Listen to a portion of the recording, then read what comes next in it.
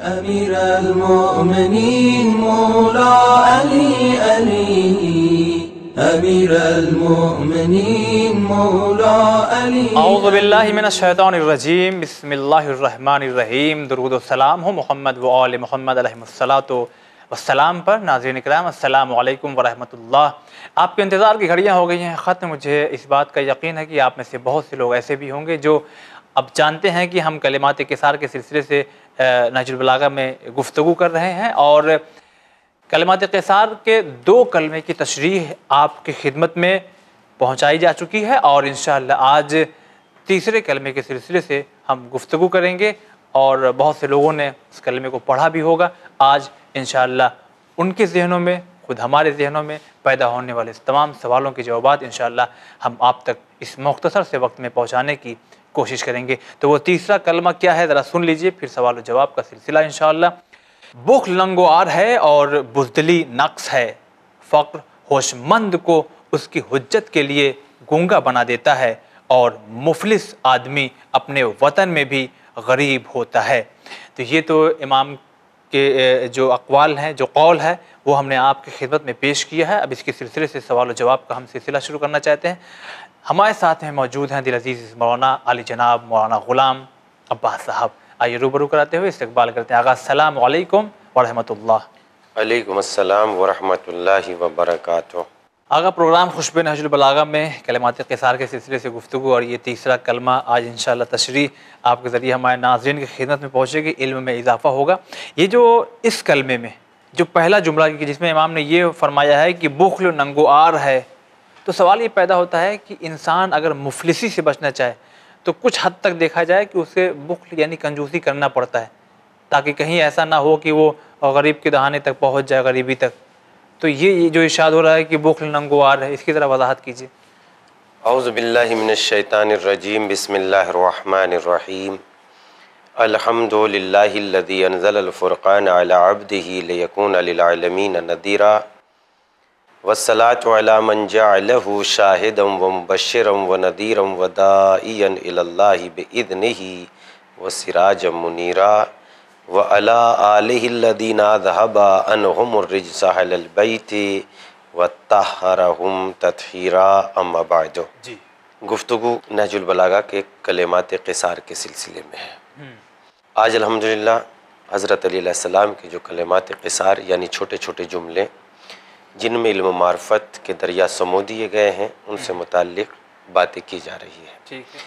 आज तीसरे कलमे से के बारे में जो गुफ्तु का सिलसिला पेश किया जा रहा है उसमें हज़रत सलाम ने चार बातों पर रोशनी डाली है। और हर बात अपने आप में बहुत वजाहत तलब है और हर चीज़ गौर फ़िक्र से ताल्लुक़ रखती है। इसलिए कि इंसान जितना गौर फ़िक्र करके हकीकत तक पहुँचता है उतना सुनने से इंसान हकीकत तक नहीं पहुँच सकता। तो इंसान ख़ुद भी अपने आप में गौर फ़िक्र करे और सोचे कि हज़रत सलाम ने कितनी गहराइयों के साथ इन बातों को पेश किया है।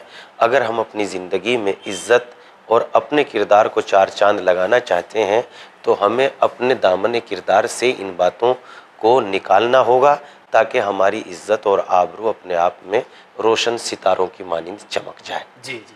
आप इनमें गौर करेंगे। और ये सारी बातें वो हैं जिनकी तायद ख़ुद कुरान मजीद से भी होती है। वो चार बात ये पहले तो इमाम ने फरमाया अल बुखलो आरुन। यानी बुखल, नंगवार है। बुखल एक रसवाई है। उसके बाद इमाम ने फरमाया वल जुबनो मन कसतुन और जुबन यानी बुज दिली नक्स है। फिर उसके बाद इमाम ने फरमाया तीसरी बात में वल फ़ख्रो यख रसुल फ़तना अन हजते गर गुरबत नादारी। जहीन होशियार आदमी को भी अपनी बात कहने से रोक देती है। फिर इमाम ने चौथी बात में इरशाद फरमाया वल मुकिल गरीबन फ़ी बलदते। और गरीब इंसान यानी गरीबी इंसान को खुद उसके वतन बलदते यानी उसके शहर में भी अजनबी बना देती है मुकिल बना देती है। इन चार बातों पर रोशनी डालने के लिए यकीनन हर एक बात इसमें ऐसी है जिसके सिलसिले में एक मुकम्मल तौर पर अगर एपिसोड किया जाए तो वक्त के दामन में गुंजाइश कमी होगी। इमाम ने फरमाया अल बुखलो आर बुखल एक आर है यानी बखालत कंजूसी। चूँकि लोगों के जहन में जो आपने फ़लसफ़ा किया पेश किया है कि इंसान गरीबी को दूर करने के लिए थोड़ा थोड़ा बचाता है और थोड़ा थोड़ा बचाने के बाद थोड़ी थोड़ी रकम यकीनन इंसान के पास एक कसीर तादाद में जमा हो जाती है और चूँकि वो गरीबी के दहाने पर ना पहुँच जाए इसलिए माल दौलत को जमा करता रहता है। ना खुद के ऊपर खर्च करता ना दूसरों के ऊपर खर्च करता। देखिए बखालत वो नहीं है जो इंसान अपनी ज़रूरियात को पूरा करने के बाद जो माल दौलत बचा रहा है उसको बखील नहीं कहते। बखील उसको कहते हैं जो ना खुद खाता हो और ना दूसरों को खिलाता हो। उसको बखील कहते हैं। लिहाजा अगर इंसान अपनी ज़रूरियात पूरी, ज़रूरियात ज़िंदगी पूरी करने के बाद कुछ माल दौलत पसंदाज कर रहा है तो ये इंसान बखील नहीं है। या अपनी ज़रूरियात से के मुताबिक जितनी उसके दामन में गुंजाइश है, अगर वो अपने मसन गरीब गुरबा को भी दे रहा है तो वो भी अपने आप में बख बखील नहीं है। बखील वो है जो मतलब अपनी कमाई हुई दौलत को ना खुद अपने लिए इस्तेमाल करता है और ना ही अपने हाथ से कार खैर और अल्लाह की राह में खर्च करता है।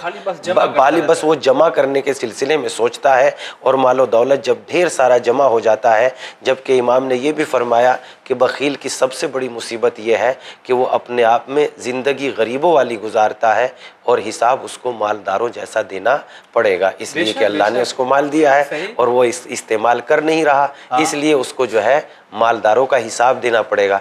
लेकिन हमारे यहाँ ये सोचते हैं कि हम जितना पैसा बचा लेंगे उतना पैसा बच जाएगा और जमा हो जाएगा। इस्लाम कुछ इस फलसफे को इस फ़िक्र को इस्लाम तर इसमें तरमीम करना चाहता है और इस्लाम ये बताना चाहता है कि तुम ये समझते हो कि राह खुदा में जो पैसा खर्च कर दिया जाएगा वो ख़त्म हो जाएगा और जो बचा लिया जाएगा वो अपने आप में बच जाएगा। अच्छा। जबकि फ़लसफ़ा कुछ और है जो राह खुदा में खर्च किया जाएगा इस्लाम ने उस खर्च को बाबरकत बीज की मानंद करार दिया है कि जिसमें मसलन एक दाने में सात बालियाँ उगाने की ताकत हो और हर बाली में सौ दाने परवरदिगार आलम ने पैदा कर दिए हों। मैं इसको आपकी खिदमत में एक बहुत उम्दा मिसाल के साथ पेश करता हूँ कि अगर बच जाए तो हम समझते हैं कि बच गया है तो हमारे पास मालो दौलत जमा हो जाएगा। लेकिन अगर हम खर्च कर देंगे तो ख़त्म हो जाएगा। खर्च करना ख़त्म होना नहीं है मगर जायज़ रास्तों में। इस्लाम उसी को अहमियत देता है खर्च इस्लाम उसी को समझता है जो जायद राहों में हो। वरना अगर नाजायद राहों में खर्च किया जा रहा है तो इस्लाम उसको खर्च नहीं मानता। इस्लाम उसको इसराफ मानता है और कुरान मजीद खुद कहता है, ला तुसरफू, इसराफ ना करो। लिहाजा इस्लाम नाजायद राहों में खर्च करने को इसराफ समझता है। लिहाजा एक मिसाल उमदा तौर से हम आपकी खिदमत में पेश करते हैं और वो मिसाल ये है कि हम खर्च को समझते हैं ख़त्म होना और बच जाने को समझते हैं कि ये बच गया है तो इसको हम समझते हैं जमा होना। इस्लाम इस सिलसिले को ज़रा था मिसाल से यूँ समझिए। आपने कभी काश्तकारी जो अनाज गन्ना गेहूँ चावल खेती की जाती है उसके उसूल से क्या आप वाकिफ़ हैं?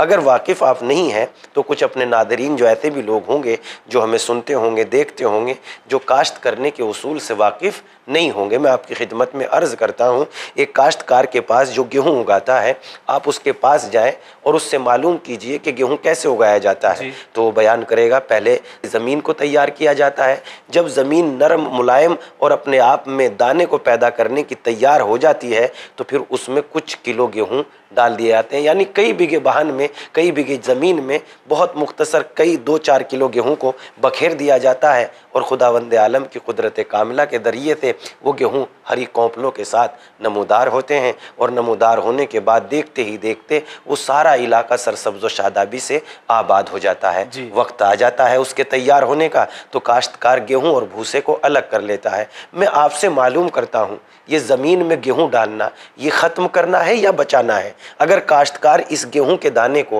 तालों में बंद करने के बाद बंद कोठरी में रख देता तो ये अपने आप में बच तो जाते, मगर ख़राब हो जाते फिसाद होता। और फिसाद होता लेकिन ये एक के दो और दो के सैकड़ों और सैकड़ों के हज़ारों दाने नहीं बन सकते थे। ये हज़ारों दाने कब बढ़े जब काश्तकार ने इसको ख़त्म कर दिया और ख़त्म करने के बाद ज़मीन में डाल दिया। इससे अंदाज़ा होता है कि राह खुदा में खर्च करने की मिसाल उस दाने के मानंद है जो तैयार ज़मीन में डाला जाता है। जो एक के बदले सात सौ पलटता है। लिहाजा हम ये समझते हैं कि खर्च कर देंगे तो माल ख़त्म हो जाएगा और बच जाएगा तो माल जमा हो जाएगा। परवरदिगार आलम ने कहा बखालत के ज़रिए से इसको बचाओ नहीं मेरी राह में इसको खर्च कर दो। परवरदिगार आलम उसके बदले एक के दस दस के बदले सौ और बिल्कुल सौ परसेंट परवरदिगार आलम उसको वापस कर देगा। लेकिन जो वकील इंसान होता है वो उसके जमा करने पर खुश रहता है। आखिरी वक्त ये होता है कि जब वो जमा करते करते एक मुद्दत तक जमा करता रहता है तो माल तो जमा हो जाता है मगर बेचारा वो माल के लिए रह नहीं पाता। इसलिए इमाम अली सलाम ने इस जुमले की वजाहत करते हुए ये जुमला भी इमाम अली सलाम ने ही फरमाया कि ठीक है तुम माल जमा कर लो लेकिन अफसोस ये है कि माल तो रह जाएगा मगर तुम उसको इस्तेमाल करने के लिए नहीं रह जाएँगे। यही हाल बखील का होता है। वो अपने लिए जमा नहीं करता। वो दूसरों के लिए जमा जमा करता है और जब दूसरों के लिए जमा करता है तो मज़े कोई और उड़ाता है और हिसाब इस बेचारे को देना पड़ता है। तो जिसका हिसाब दे रहा है उससे उसने फ़ायदा भी नहीं उठाया और हिसाब देना पड़ रहा है इसलिए अमीरमिन अली इबन अबी तालिब ने फरमाया अलबुखलो आरुन यानी तुम उस मालो दौलत से जो नेकियाँ हासिल कर सकते थे मगर तुमने बुखल की बुनियाद पर ना नेकियाँ हासिल की और ना माल ही इस्तेमाल किया। दूसरों के हिस्से में तुम्हारा माल आ गया एक जगह और इमाम सलाम माल के सिलसिले में फरमाते हैं यानी ये भी शायद बुखल के ही ज़िम्न में आ जाएगी। कुछ लोग जो बखील किस्म के होते हैं वो समझते हैं कि हमारे माल से कार खैर कोई दूसरा करा देगा। इस सिलसिले में इमाम अली सलाम फरमाते हैं फ़र्जंद आदम अपने माल में अपना वसी खुद बन जा। इसलिए कि जो उम्मीदें तो गैरों से रखता है कि ये तेरे बाद लोग नेक कार खैर करा देंगे तो तू वो उम्मीदें तो दूसरों से वाबस्ता ना कर बल्कि अपनी ही ज़िंदगी में उन कामों कार, कार खैर कामों को अंजाम दे ताकि तेरा माल सही रास्ते पर इस्तेमाल हो जाए। तो इसलिए कहा गया है अल बुखलो आरुन बख बुखल जो है नंगो आर है रसवाई है ज़िल्लत है। इसलिए कि बखील मर जाता है और माल दूसरों के काम आता है। बहुत खूब आगा सुबह अल्लाह वाकई कंजूसी इंसान को नहीं करना चाहिए। हमारे नाजरीन अगर खुदा न खास्ता कोई ऐसा हो कि जो इमाम की इस हदीस पे बिल्कुल वाकई उतर रहा है तो उसे चाहिए कि अपनी ज़िंदगी में बदलाव लाए, चेंजेस लाए। इसलिए कि वाकई ऐसा इंसान हमने भी देखा है कि वो जमा तो खूब करता है और जब इंसान इस दुनिया से वाकई जो रुखसत हो जाता है तो फिर हदीस का जो ये पहलू है कि जब वो हिसाब देगा तो दौलतमंदों जैसा हिसाब देगा, लेकिन उसने ज़िंदगी जो है बिल्कुल गरीबी जैसी गुजारी है। उसे चाहिए कि मैाना रवि अख्तियार करे, ना बहुत ज़्यादा खर्च गरीब बन जाए, बल्कि मैाना रवि दरमियान हिस्सा अख्तियार करे। अगर इसके बाद का जो इमाम का जो जुमला है कि बुजदिली नक्स है तो कैसे नक्स है? इसकी भी तशरी कीजिए, क्योंकि एक पहलू ये जहन में आ रहा है, लेकिन उसको आप ज़रा तशरी करेंगे, ज़्यादा बेहतर होगा। अगर एक इंसान मैदान जंग है तो अगर वो बुजदली दिखाए तो वाकई हो सकता है कि बच जाए वो। भाग जाए वहाँ से। तीसरे जुमले में हज़रत सलाम ने जो चार बातों को बयान किया है और जिनमें से हर बात अपने आप में सुनहरे अल्फाज में लिखने के लायक है। हम्म। यहाँ इमाम ने फरमाया अल जुबनो मनकसतुन। जुबन यानी बुजदिली। मनकसतुन यानी नक्स है। हम्म। बुजदिली एक ऐब है एक नक्स है।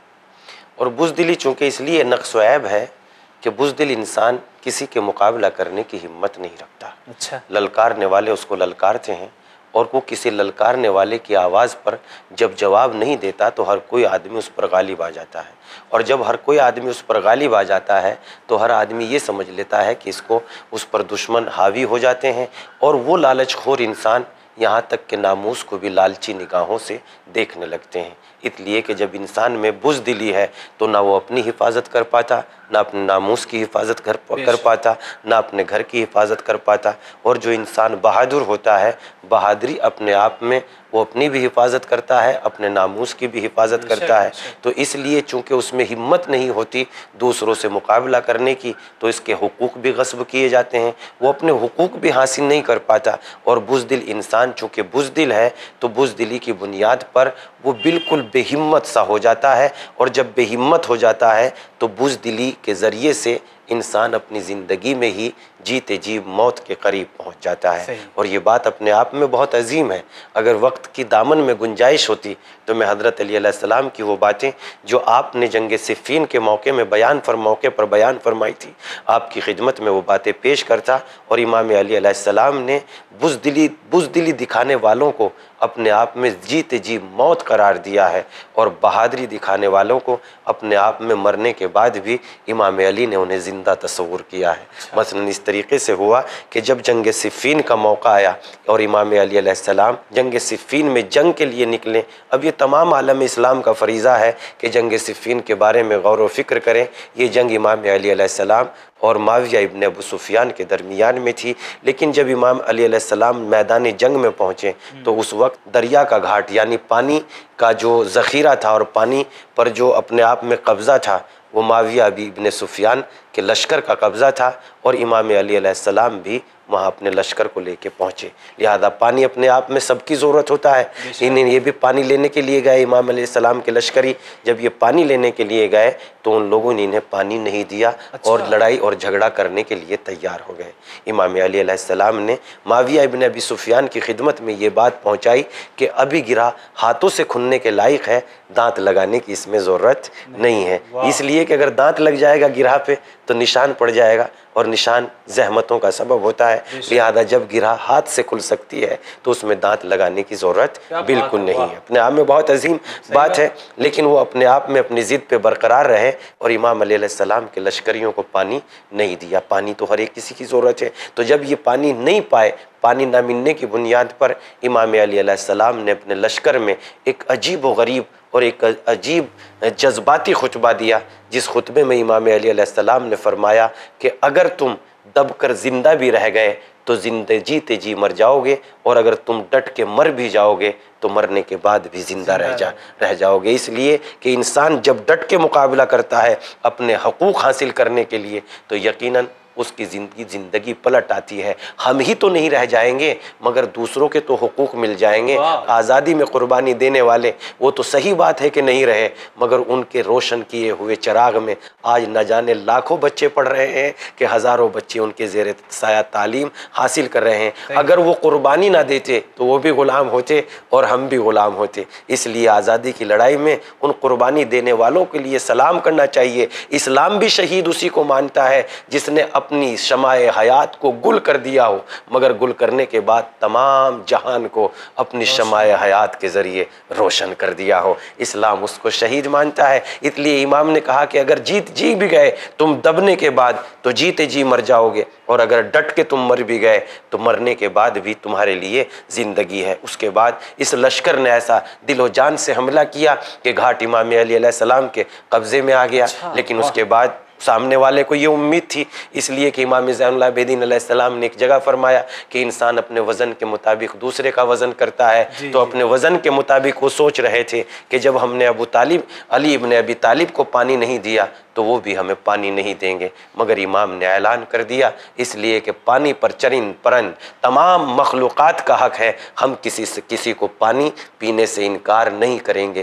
तब हाँ तब तब अपने आप में माविया इबन अबी सिफियान ने अपने आप में ऐलान आम किया। मैं अली सलाम के करम को जानता हूँ और मैंने इनके बाप दादा के करम को भी देखा है। ये करीम इबन करीम है पानी से कभी मना नहीं करेंगे। अच्छा। लिहाजा ये यहाँ से अंदाज़ा हुआ कि अगर ये लश्करी बुजदिल होते तो पानी कभी हासिल नहीं कर सकते थे। अपना हक कभी हासिल नहीं कर सकते थे। इसलिए इमाम ने फरमाया बुजदिली एक नक्स है और इंसान जो है इस नक्स को दूर कर सकता है अपने अंदर शुजात और हिम्मत पैदा करे। जब इंसान के अंदर हिम्मत पैदा हो जाएगी तो वो अपने हकूक़ हासिल कर लेगा।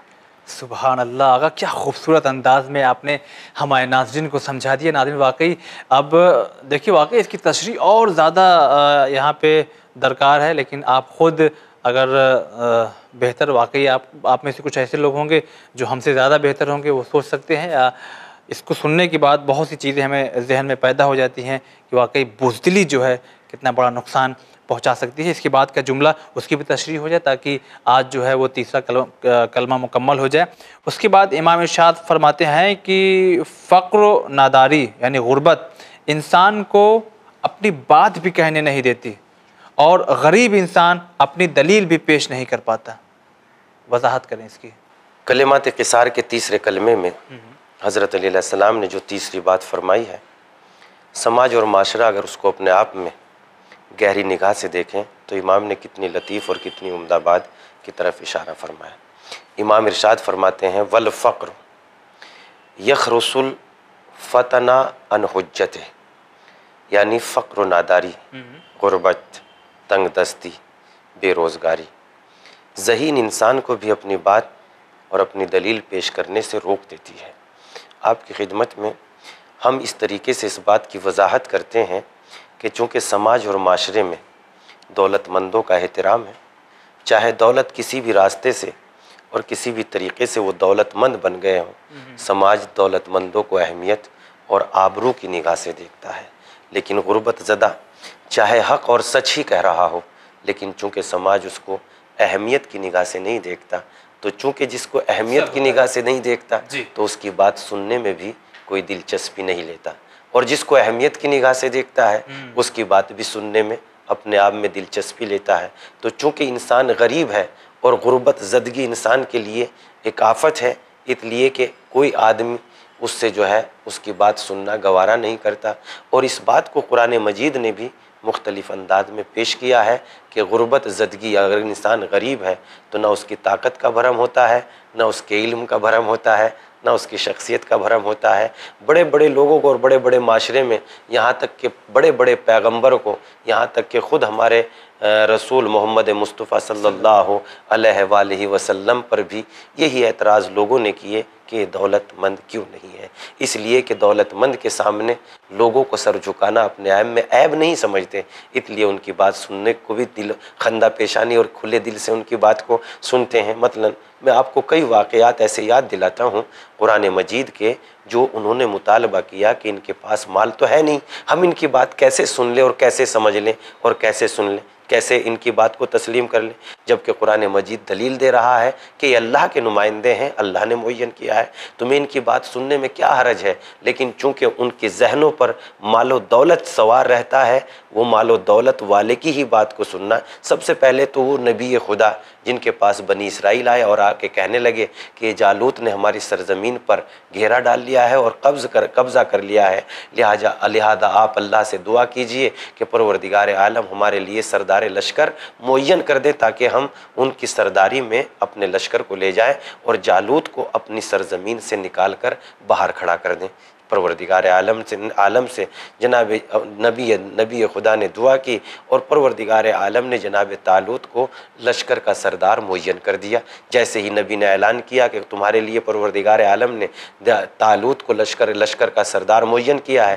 वैसे ये लोग कहने लगे कि हम तालूत को किस तरीके से अपना सरदार मान लें? लम यू तसा मिनल माल।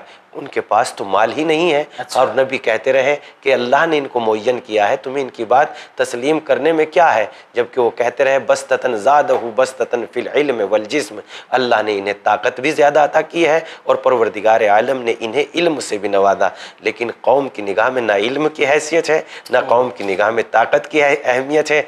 तो वो तो यही कहते रहे कि हम किस तरीके से तालूत को अपना सरदार लश्कर मान लें लम यू तसातम मिनल माल। इनके पास माल तो नहीं है। यानी खबर हो गई कि इंसान जो है, मालदारों के सामने झुकना पसंद करता है और उनकी बातों को खंदा पेशानी से सुनता है। जबकि अल्लाह ने मुन किया था तो अल्लाह के मुन करने वाले की तो बात मान लेनी चाहिए थी। उसके बाद मसलन जनाब मूसा के ज़माने में आपने सुना होगा कि कारून को परवरदिगार आलम ने बेपना ख़जाना दिया था।